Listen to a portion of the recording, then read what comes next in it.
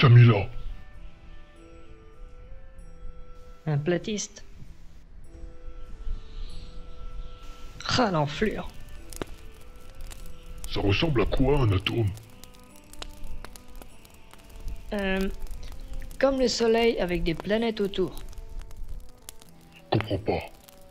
Mais t'es un vrai barbare. Tu comprends jamais rien. C'est parce que je sais que bastonner. Et taper fort. T'es un sacré bourrin. Ah, je vais te montrer à quoi ça ressemble.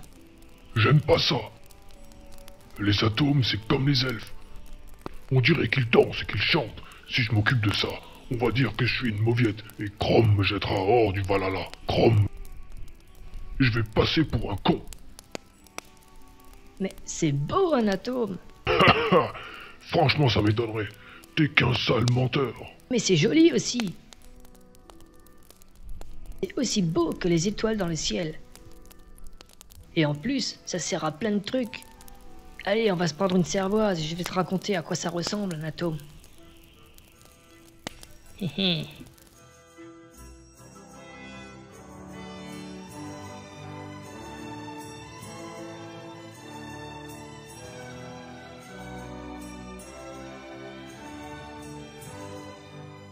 En 1827, le botaniste Robert Brown déposa des grains de pollen sur de l'eau et les observa au microscope.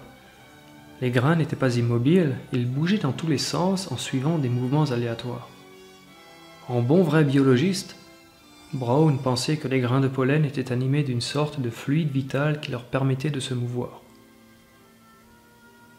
Pour tester son hypothèse, il déposa des grains de sable, presque de la poussière de sable, à la surface de l'eau et remarqua que les grains se déplaçaient aussi de façon aléatoire.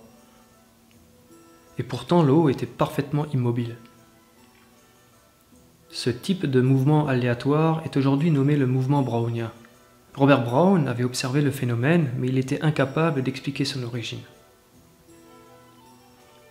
En 1905, Einstein prouva que ce type de mouvement aléatoire des grains de pollen venait en fait des particules invisibles dont l'eau était faite. Ces particules devaient frapper les grains de façon chaotique et exercer une force de poussée sur ces grains de pollen. En observant les grains de pollen dans l'eau et en faisant des maths, vraiment beaucoup de mathématiques, il a pu déterminer la taille des particules d'eau. Et il a découvert que c'était vraiment petit. Quand Einstein publia ses résultats en 1905, il prouva ainsi de façon définitive que les atomes existent. Parce qu'avant lui, l'idée de l'atome était acceptée comme un concept utile pour expliquer la matière, mais personne n'avait réussi à prouver son existence. Il y en a même qui pensaient que les atomes n'existent pas. Voilà. Alors Einstein a balayé tous les doutes et il a définitivement prouvé leur existence. Dans les premières années du XXe siècle, il y a environ une centaine d'atomes qui étaient connus. On savait qu'ils s'assemblaient dans des structures beaucoup plus grandes qui sont les molécules, qui à leur tour forment des liquides, des roches, des plantes, les chatons, tout ça, tout ça. Mais ce que les scientifiques ne savaient pas, c'était ce qu'il se passait à l'intérieur d'un atome, ce dont un atome était fait et surtout quelle forme il avait. Comment ils ont trouvé comment c'est fait? Ils ont beaucoup cherché.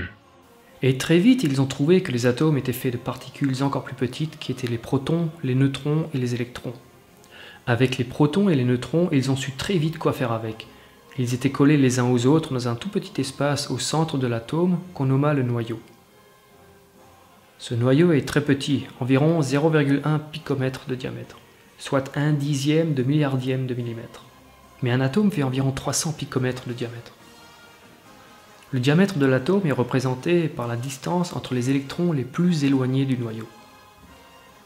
C'est un peu comme si l'atome avait la taille de la tour Eiffel et que le noyau était petit comme une cerise. Il y a donc un vide assez énorme dans un atome et ce vide est le royaume des électrons. Une fois que tout cela a été découvert, il est resté une autre question. Ce que les scientifiques ne savaient pas, c'était de quelle façon les électrons occupaient cet espace vide. Rutherford est le premier à avoir fait une première esquisse correcte qu'il avait basée sur le modèle planétaire de l'atome. Le noyau est au milieu et les électrons tournent autour comme les planètes autour du Soleil. C'était un bon point de départ, mais qui ne permettait pas de faire des prévisions sur la façon dont peuvent réagir les atomes les uns avec les autres. Plus tard, le scientifique danois Niels Bohr montra que ce n'était pas exactement la réalité. Le modèle développé par Bohr faisait des prévisions très exactes sur la réactivité des atomes, mais il y avait toujours des détails qui ne collaient pas. Et ensuite, le français Louis de Broglie a fait quelques expériences et il affirma quelque chose de très intéressant. Toute matière a une nature ondulatoire, pas seulement la lumière. Ce qui voudrait dire que des électrons pourraient être diffractés comme de la lumière.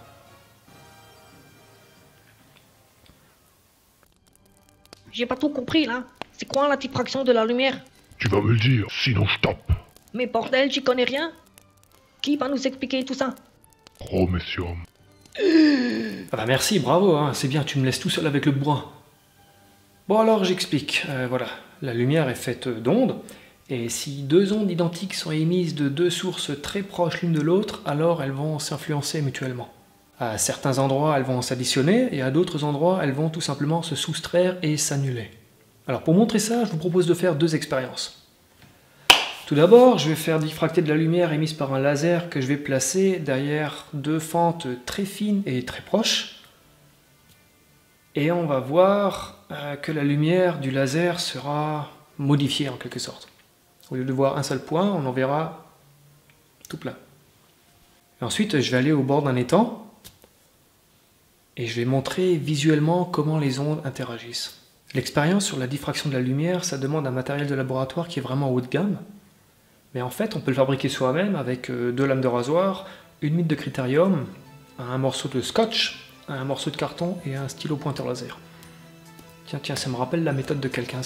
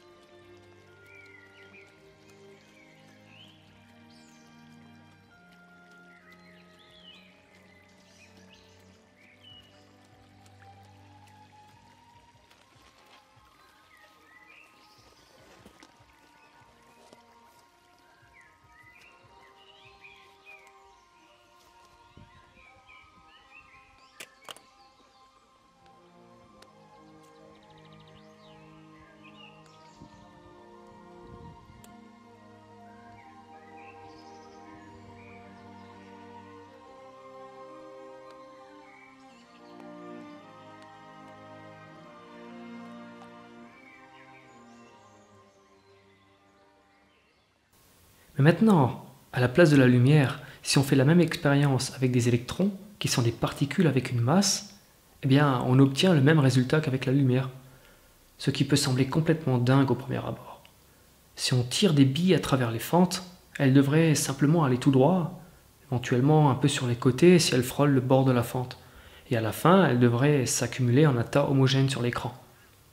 Mais si on tire des électrons, un par un, on note un phénomène étrange. Chaque électron qui atteint l'écran provoque un point d'impact. Mais en en tirant des millions, l'un après l'autre, on remarque des millions de points d'impact qui sont répartis exactement comme une figure d'interférence de la lumière. Mais un électron, c'est une onde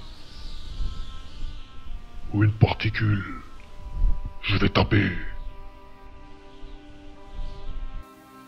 En fait, un peu les deux. Ou pas. Ni l'un ni l'autre, ni les deux à la fois. Le truc le plus fou est que si on tire des atomes, ou même carrément des molécules à travers les fentes, on observe aussi le phénomène de diffraction.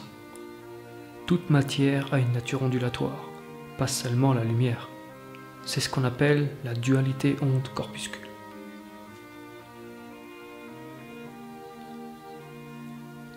Cette dualité onde-corpuscule est un vrai désastre pour le modèle de comparaison des atomes avec des astres, parce que ce modèle stipule que l'électron est une particule et reste une particule sur toute son orbite, et qu'il ne se désintègre pas en onde en plein milieu du chemin. Il fallait donc un nouveau modèle pour l'atome. Mais ce nouveau modèle ne pouvait pas venir de la mécanique classique, celle développée par Newton, car celle-ci faisait la même hypothèse. Une particule doit rester une particule. La nouvelle théorie devait donc être une mécanique complètement nouvelle qui pouvait intégrer le fait qu'une particule pouvait aussi être une onde, ou qu'une onde pouvait aussi être une particule. Chrome. Je comprends rien.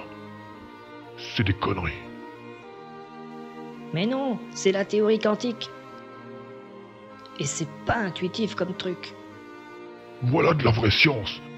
Le reste, c'est de la collection de timbres. La théorie quantique n'est pas le fruit d'un seul homme ou d'une seule femme, mais le résultat d'une collaboration entre les plus grands esprits du début du XXe siècle. Ceci est la photo du congrès Solvay de 1927 à Bruxelles. De tous ceux qui sont sur cette photo, il y a 19 prix Nobel ou futurs prix Nobel. Qui a inventé la théorie quantique? Euh, moi je crois que c'est Aristote. Faux Conan Qui l'a inventé? Davison, De Broglie, Heisenberg.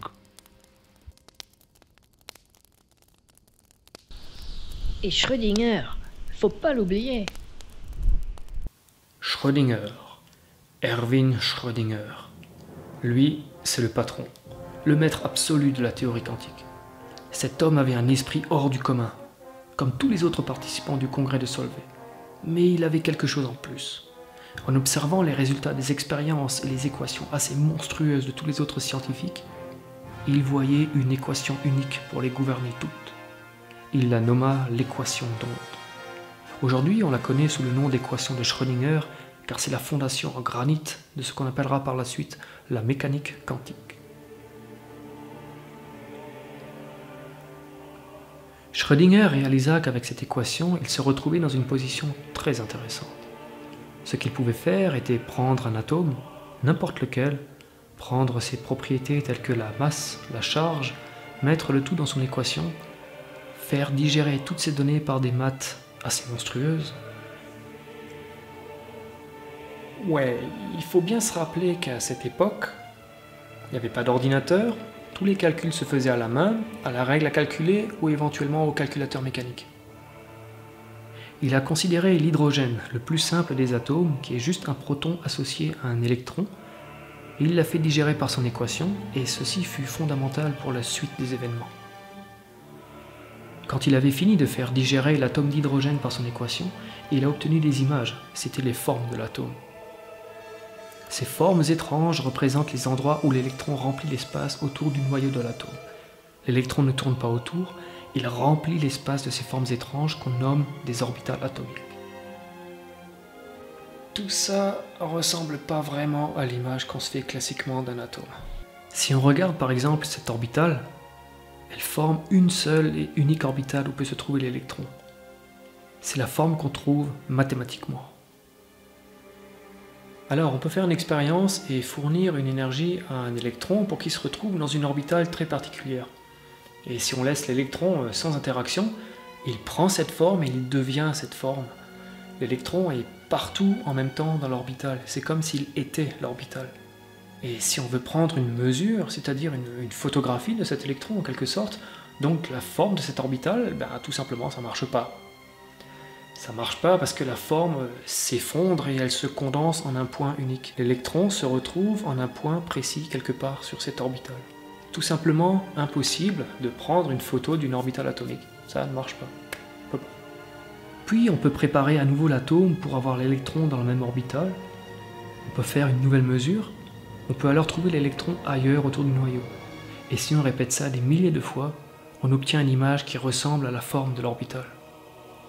Finalement, Schrödinger a enfin trouvé la forme d'un atome d'hydrogène, ou plutôt les différentes formes qu'il peut prendre. Et les scientifiques qui sont venus après lui ont été capables de trouver les formes de beaucoup d'autres atomes. Oui, mais l'hydrogène, il y a juste un électron.